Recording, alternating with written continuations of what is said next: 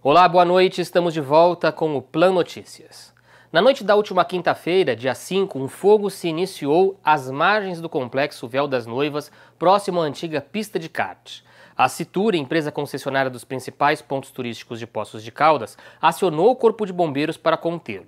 Os bombeiros foram ao local e agiram rapidamente, impedindo que o fogo se espalhasse para partes internas e que houvesse dano ao equipamento turístico.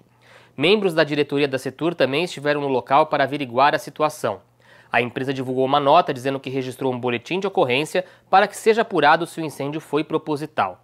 As obras para a substituição do antigo cercamento por um novo alambrado mais seguro já começaram.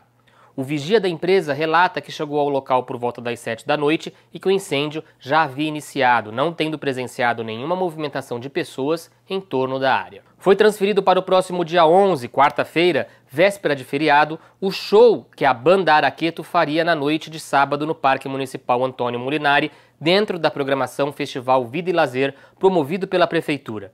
Os organizadores tiveram que adiar o show por causa da chuva que caiu na cidade no sábado, o que comprometeria a segurança e o conforto do público. O Plano Notícias termina aqui e a gente volta amanhã com mais informações ao longo da nossa programação.